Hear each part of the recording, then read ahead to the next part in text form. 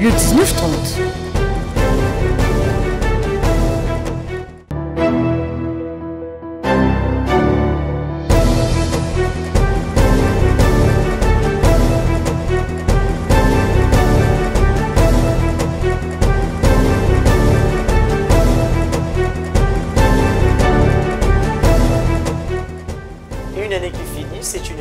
Jetée au fond de la citerne des anges et qui tombe avec des résonances d'adieu, disait Firmin van den Bosk. 2021 n'est plus que de l'histoire.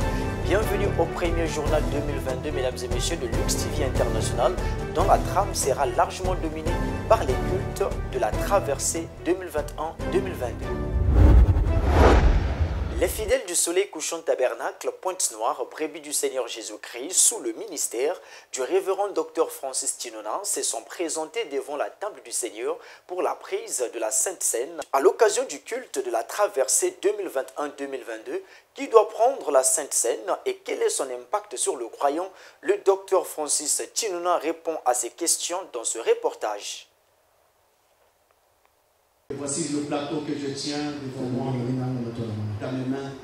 Du pain représentant le corps brisé du Seigneur Jésus-Christ, du vin symbolisant son sang versé sur le bois du calvaire, les chrétiens du Soleil couchant tabernacle, dirigés par le révérend Dr Francis Tinona, se sont remémorés la mort de leur Seigneur et Sauveur en cette nuit de la traversée. La Sainte Seine, un cliché de la Pâque dans l'Ancien Testament. Dr Francis Tinona. La Sainte Seine est, on va dire, la réplique du Nouveau Testament correspondant à la Pâque qui se faisait dans l'Ancien Testament lorsque les Hébreux sont sortis du pays d'Égypte.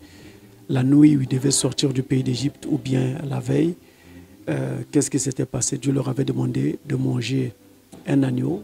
L'agneau avait d'ailleurs pris le nom d'agneau pascal par rapport à cet événement, à cette, fête. Cet agneau devait être pris le 14e, le 10e jour et ensuite offert le 14e jour. Donc on devait le garder pendant 4 jours pour être sûr qu'il était un agneau parfait, sans tache et tout le reste. Ce devait être un agneau mâle et le premier-né de la brebis.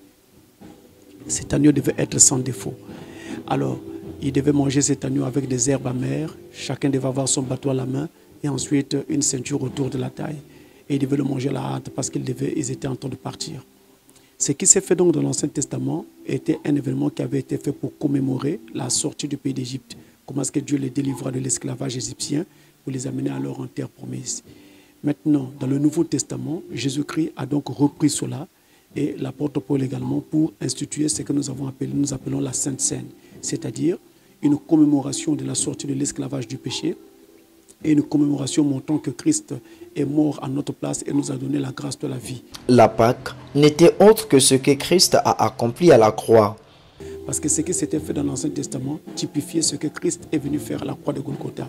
C'était lui, l'agneau pascal.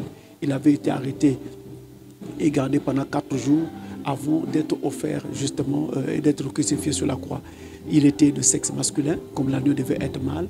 Il était le premier-né de la brebis, justement Marie. euh, le premier fils que Marie avait eu, c'était Jésus. Il était donc le premier-né de la brebis du Seigneur qui était Marie. Et il était sans défaut, sans tâche. Il a même dit à, Pilate, euh, euh, euh, il a dit aux, pharisiens, qui me convaincra de péché? Et Pilate de dire, le jour qu'il a présenté devant le prétoire, voici l'homme, c'est-à-dire voici l'homme parfait. Et dans toute l'histoire, on n'avait jamais présenté l'homme. On présente toujours l'homme d'après ses titres et ses rangs. Mais là, on présentait l'homme par excellence, c'est-à-dire l'homme parfait. Voici l'homme, voici l'homme parfait, voici l'homme par excellence. Et c'est donc pour commémorer sa mort sur le bois du calvaire que nous faisons cela. C'est pour commémorer la délivrance que nous avons acquise à partir de sa mort sur le bois du calvaire que nous observons donc la Sainte Seine. La nouvelle naissance est la condition sine qua non de la prise de la Sainte Seine. Faire autrement, c'est embrasser des ennuis. Celui qui prend la Sainte Seine doit déjà être né de nouveau. Celui qui prend la Sainte Seine doit être baptisé d'eau. Et celui qui prend la Sainte Seine doit être baptisé du Saint-Esprit. Donc la nouvelle naissance chez lui doit être complète et achevée. Lorsque les Hébreux ont pris, euh, mangé la Pâque avant de sortir du pays d'Égypte, nous avons constaté qu'ils ont traversé tout le désert pendant 40 ans. Aucun habit n'était déchiré, aucun soulier n'était usé. Dieu avait mis sa main pour les protéger tout au long du chemin.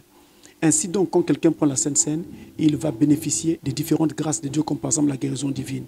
Donc il y a une guérison divine derrière la, la, pratique, sinon la prise de la Sainte Seine. Mais de l'autre côté, lorsque l'on prend la Sainte Seine sans discerner le corps du Seigneur, c'est-à-dire alors qu'on mène une vie désordonnée, eh bien on s'attire les foudres du Seigneur. Quoi qu'alcoolisé, le vin de la Sainte Seine devrait et doit suivre un processus sain. Le vin que l'on prend à l'occasion de la Sainte Seine est un vin qui est alcoolisé. On ne doit pas se voiler la face, c'est un vin qui est alcoolisé. La différence ici, c'est que c'est un vin qui est fabriqué selon un processus tout à fait parfait, tout à fait sain.